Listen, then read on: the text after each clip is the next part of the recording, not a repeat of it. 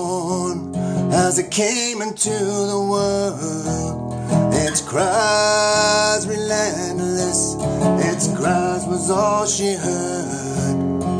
A bond was formed long before the day, and this bond that's formed, she'll never ever trade.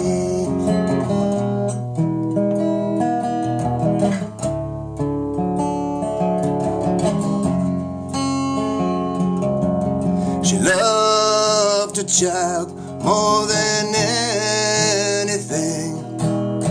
She'd often go without so she could give her everything. Cause everything she did and everything she does was to benefit the child, become the girl she never was. But it she cries herself to sleep almost every night because her child was taken from her arms. She was told she wasn't fit to be this child's mom, and now just heartache. She's lost her lust for life. Her tunnel is so dark, and she cannot find the light.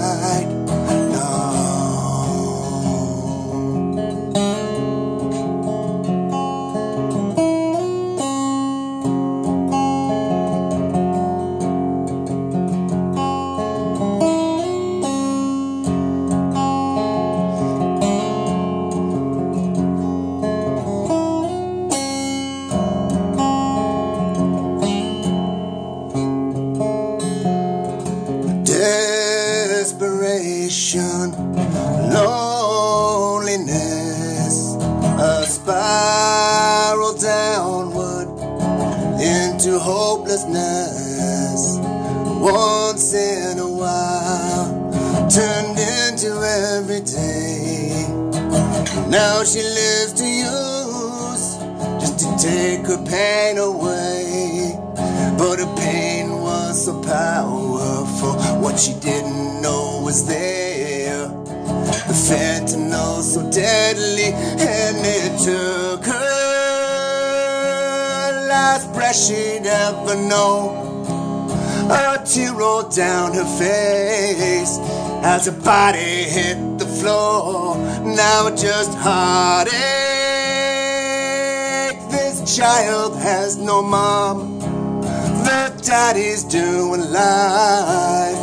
Where did it all go wrong?